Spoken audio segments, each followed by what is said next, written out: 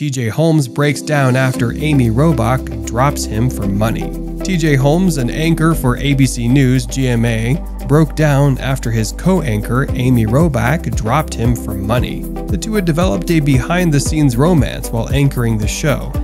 But ABC News cut ties with them after the disclosure of their relationship got in the way of producing the show. Even though Robach and Holmes have been off the air, their romance has generated unwanted attention, with paparazzi pictures of them walking in New York or enjoying holidays. We just launched our newsletter. First 80 people to subscribe get a free surprise. Check the pinned comment.